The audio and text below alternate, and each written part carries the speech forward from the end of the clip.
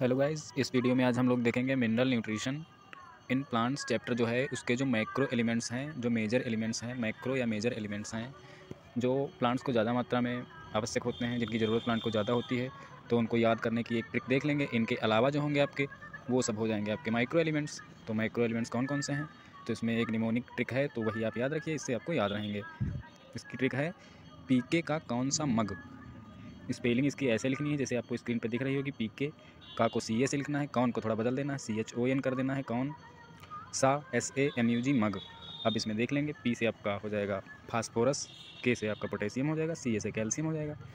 सी H O N ये carbon, hydrogen, oxygen, nitrogen हो जाएँगे चार, एस, ए, सा से हो जाएगा आपका सल्फ़र, मग, एम, यू, जी से हो जाएगा मैग्नीशियम आपका।